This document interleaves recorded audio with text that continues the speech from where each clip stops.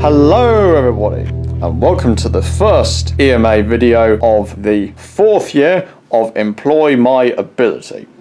And to start this whole year off, I, George Brind, am going to be showing you some footage and photos taken by myself during the Employ My Ability induction week.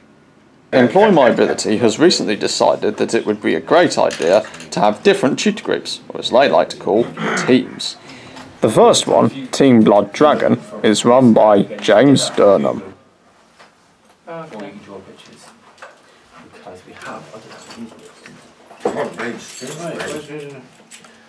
Team MASH is run by Natalie Dix.